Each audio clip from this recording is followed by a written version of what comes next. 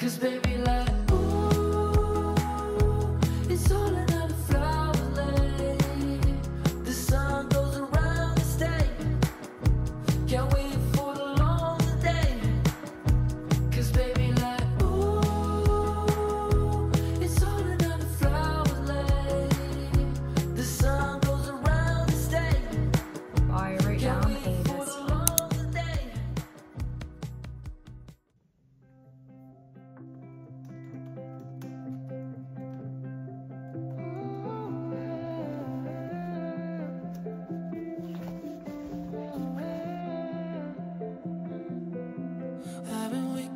too early just to lose some more sleep. I've been hiding from my pride, well, I'm looking for a change. Oh, but what if I change my mind?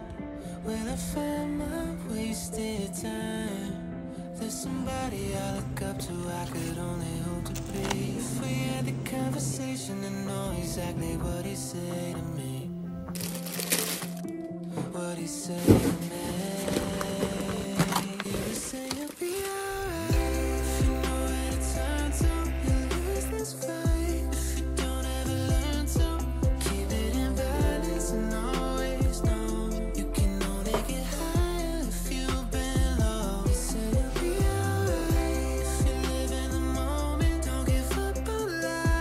As a full time student and content creator, I really care about efficiency as both require a lot of time and effort. I want to share with you all some equipment that I have been using to help me study and create content flexibly.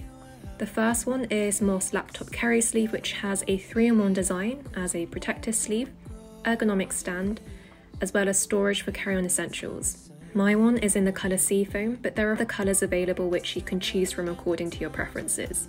In terms of the design, the sleeve itself is made of vegan leather, a strong fiberglass with an expandable compartment for you to carry power cables, notepads, etc. As you can see, it has an invisible stand with dual angle adjustments for you to find the ideal level for work. I find that this helps me to improve my posture, even when I'm in a public place, so it helps me to work anywhere more easily. So, super versatile, and you can really adjust it to your personal preferences for work. I recently had to change my old iPhone 11 to the 15 Pro, and as you're probably aware, I basically film everything with it. With this in mind, Moft kindly sent me over their creator kit, which includes a snap phone case, phone stand and wallet, lanyard, as well as a new snap on invisible tripod, which have been super useful.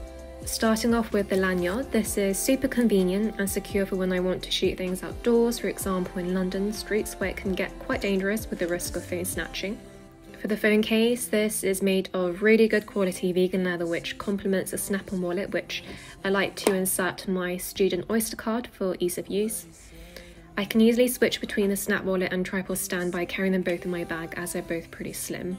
And finally the invisible tripod stand which looks pretty basic but as you can see it is super compact but once unfolded it is very functional. It has so many modes that you can utilise and you can even place your phone both horizontally and vertically. So it's super versatile for not just vlogging, but simple things like FaceTiming, dual screens, etc. As a math student content creator, I can't necessarily carry around tripods and cameras with me everywhere.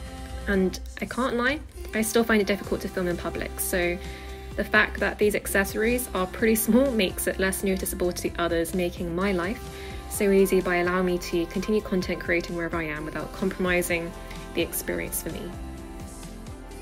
So it's a new year now, and my fifth year med school is definitely going to get busier. However, I really don't want to have my studies compromising my love for content creating, and vice versa.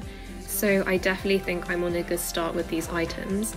I'm actually thinking of perhaps incorporating more study with me videos this year because I actually do need to work, and it's a way for me, I guess, to not get distracted. If any of you guys are interested in trying out Moft, please make sure to check the link in the description box below and use my code HAYEON10 for 10% discount.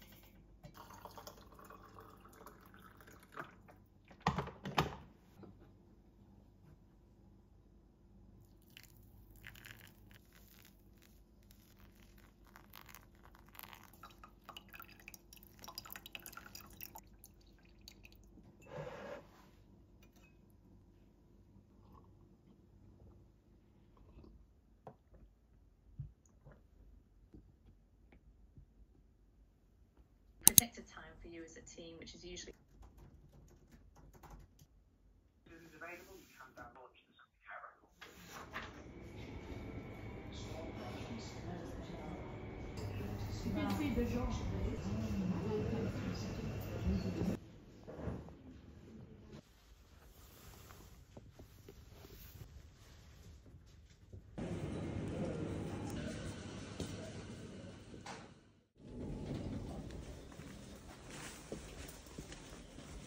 you know, in, definitely in more severe forms, psychiatric assessment, including mental state examination of patients presenting with low mood.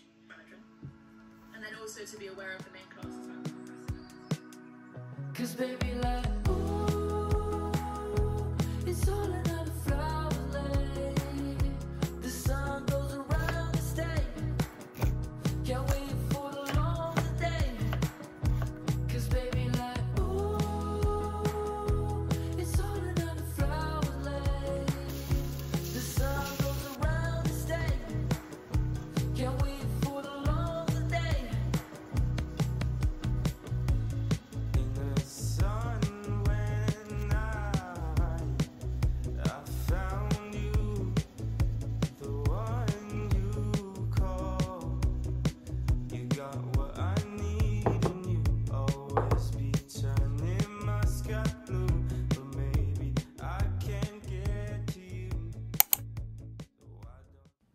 I wrote down a list of 23 things that I want to thank 2023 for. They're not in any particular order and I won't expand on them too much, but I thought it would be nice to share them with you.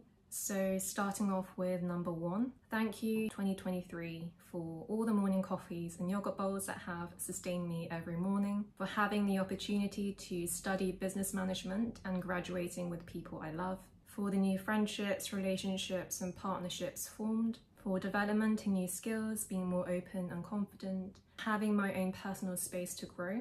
So, this is my second year living out, for seeing parts of the world of friends and family, for pruning and growth in my faith and relationship with God, for realizing the want to strive for quality, for new opportunities and doors that have opened and closed, for being fine just being by myself, for waking up every morning with the strength to live each day, for becoming more honest with myself and others, for being able to pursue my creative side through YouTube, sharing my memories, etc. For all of you guys, for prioritization, for being brave and trying out new things, for all the new coffee shops explored throughout the year, for wholesome movie nights, for going to the gym and taking care of my physical health, for healing in relationships, for family, for seeing nature in its pure form, and finally for the endurance and perseverance that has allowed me to see God's works throughout the year. So I'm sure there are a lot more, but these are the top 23 that came to my mind. I also have two words that I'm carrying forward with me in 2024, and those are quality and attitude. I think for me personally, I really just want to live to the full potential that God has created me throughout 2024.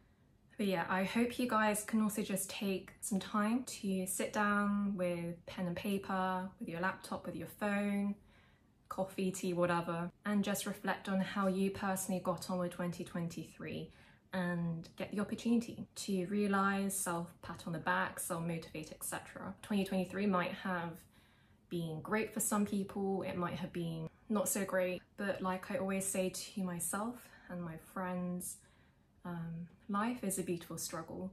And I really hope that this new year um, can become a really special one for all you guys. I am going to end the vlog here. Thanks for sticking around till the end, and I'll see you guys in my next video. Cause baby,